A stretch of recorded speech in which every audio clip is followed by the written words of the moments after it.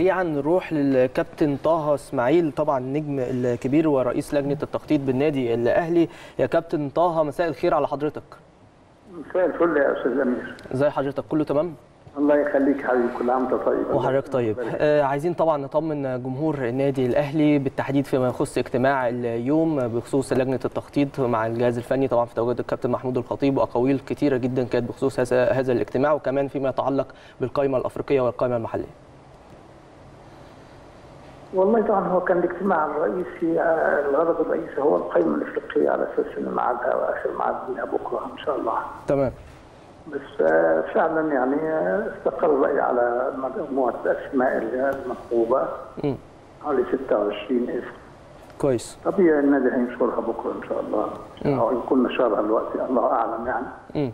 ما مش هتبقى اسرار الحاجات دي آه ناقشناها طبعا من كل الجوانب. آه على أساس عندك لاعبين كتير في لعيبة يعني بتختار من مجموعة كبيرة من اللعيبه في المراكز المختلفة. مم. فطبعا بتختار بالأفضلية اللي يراها المدرب واللي برضه يعني نتفق عليه معاه فيها يعني. مم.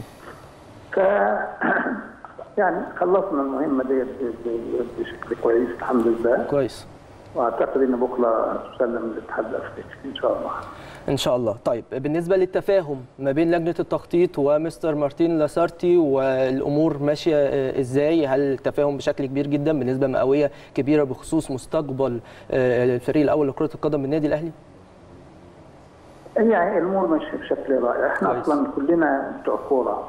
حلو. وإحنا أصلا مدربين. يعني فطبعا آه، أساس المناقشة بيبقى أساس آه، إيجابي. مفيش فيه آه، تربصات حلو. مفيش فيه آه، يعني أنت فاهم؟ يعني وهو راجل يبقى مطمئن من الكلام معانا وإحنا. بنتكلم معاه كويس. إن الهدف واحد إن العملية مفيش فيها بتاع هو الراجل متجاوب في كل حاجة بن- بنقول رأينا وهو بيقول رأيه وفي النهاية. حلو. يعني متفقين في معظم ال- المسائل يعني مفيش مشاكل فيها الحمد لله.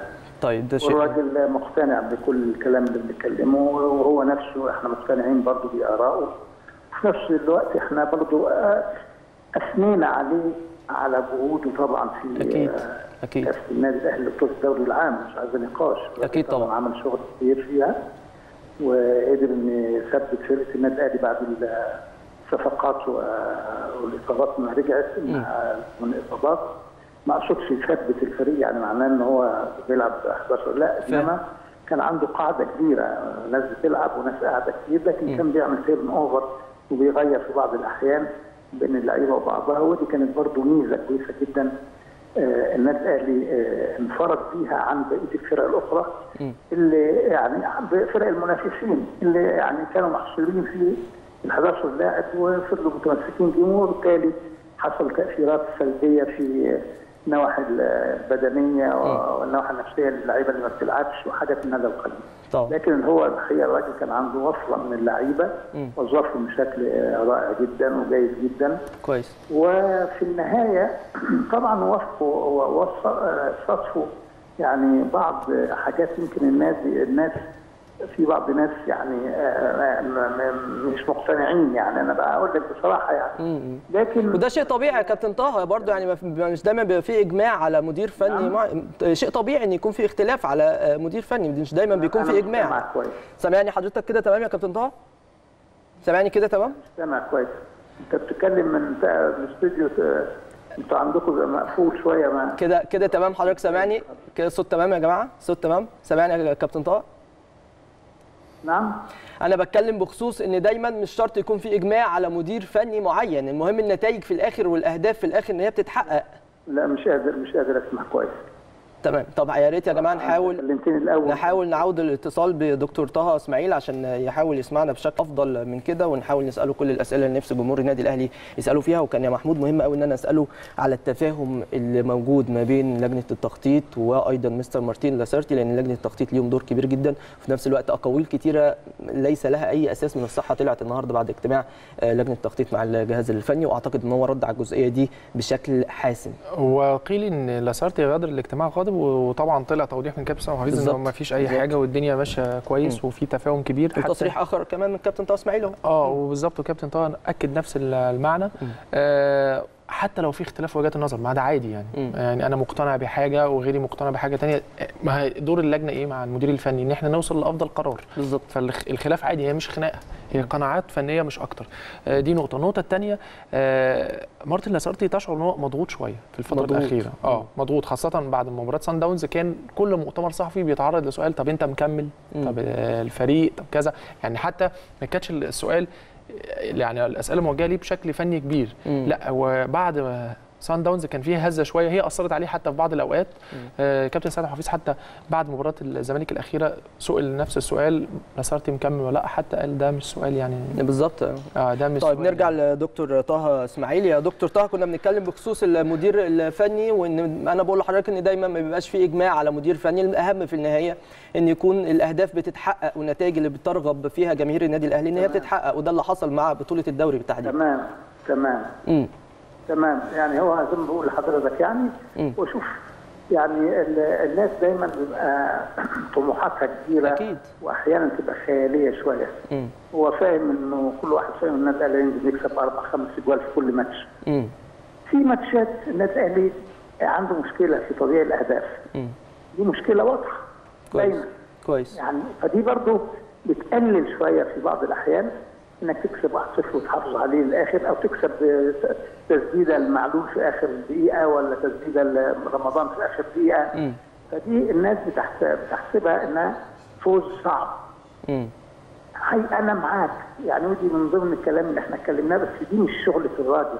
تمام. النهارده شغلة الراجل أنا بخلق فرص صح. وفرص كثيرة جدا بتضيع الأهداف هو مش هيجيب الأهداف. امم إنما هي دي مشكلة المهاجمين اللي موجودين عندنا. اللي هي نسبة تهديفية من الفرص اللي بتيجي قليلة. ودي أحيانا بتخلي الماتش م- مزنوق وبتكسب بالعافية. امم فيبقى الناس بتفتكر إن بقى لا لا عايز يكسب مستريح بقى باربع أو خمس اجوال في مباريات بتتهيأ زي كده. مقاولين عرب النادي الاهلي عمل مباراة كبيرة جدا بالظبط. ثلاث اجوال ثلاث اجوال من, أحسن الأجوال. مرة أمام قصه مش عارف ثلاثة برضه حاجات زي كده. برضه في بعض المباريات. النادي الاهلي عمل فيها سكور كبير. فهو الراجل الحقيقة يعني أنجز المهمة بتاعته. وإحنا في الكورة كده بنقول الكلام ده. ايا كانت اراء الناس هو أنجز المهمة بتاعته آه، منظم في شغله آه، قدر يستثير ح- حماس اللعيبة في طول المباريات اللي فاتت ثبات المستوى في النتائج على وجه الخصوص. إدى للعيبة فرص كثيرة يعني عمل تيرن أوفر وبقى يدي آه، آه، بعض التدوير يعني. ففي النهاية أنا شايف ان هو نجح في العمل آه، اللي أوكل ليه وأنجز المهمة المطلوبة منه يعني.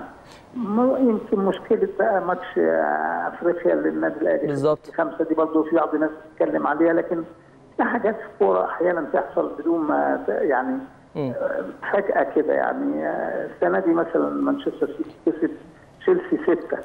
بالظبط فعلا. مش- مقياس إن يحصل الكلام ده. حصلت. واخد بالك. آه، ليفربول إن هو مثلا خسران ثلاثة خسران ثلاثة يجيب أربع تجوال امم في مين في برشلونة.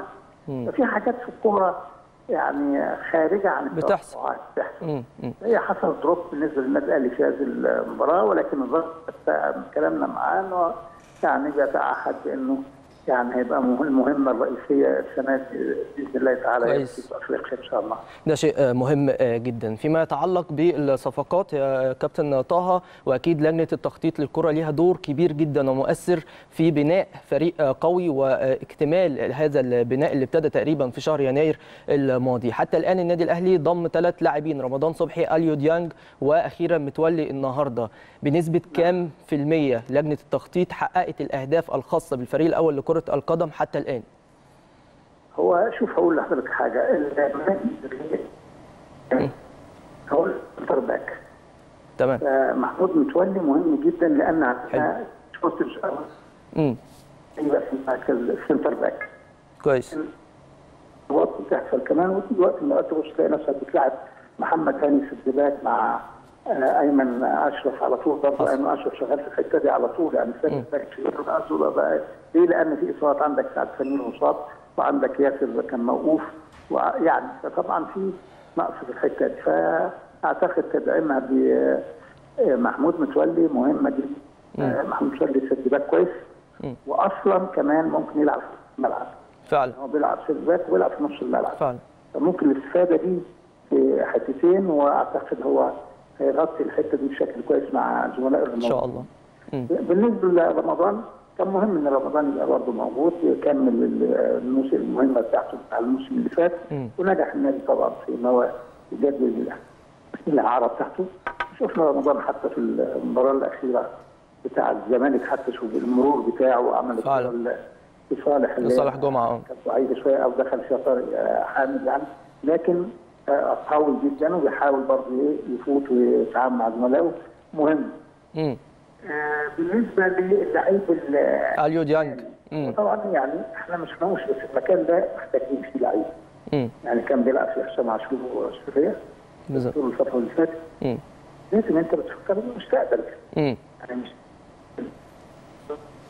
برضه في ناس مثلا هتبص تلاقي السن بالتدريج يبقى خلاص لازم عن امم عشان ولد صغير وبيلعب.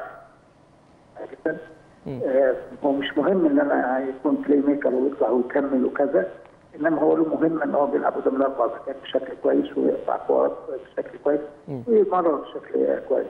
فأعتقد يعني ثلاث مراكز مهمين جدا.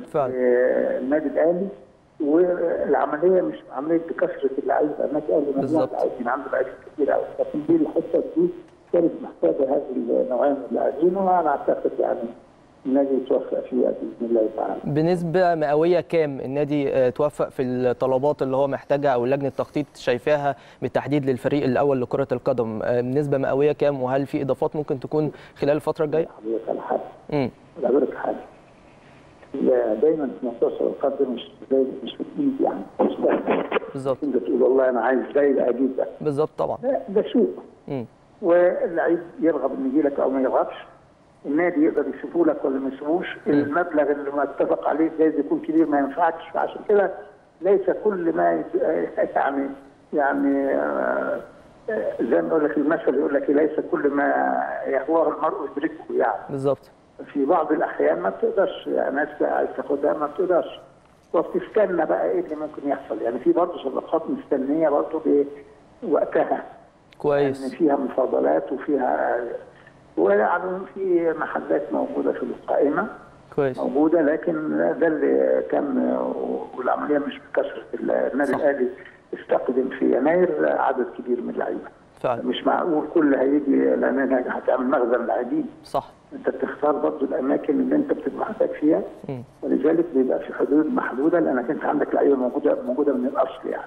بالظبط. أعتقد إن آه، النجاح في الثلاث دول حاجة جيدة. وفي ناس برضه تحت ال- الم- المحادثات يعني قد يحدث في أي وقت ممكن يدخل بعض اللعيبة إن شاء الله. إن شاء الله. يا دكتور طه أنا بشكر حضرتك. شكرا جزيلا على هذه المداخلة. كان معنا على الهاتف دكتور طه إسماعيل رئيس لجنة التخطيط للكرة بالنادي الأهلي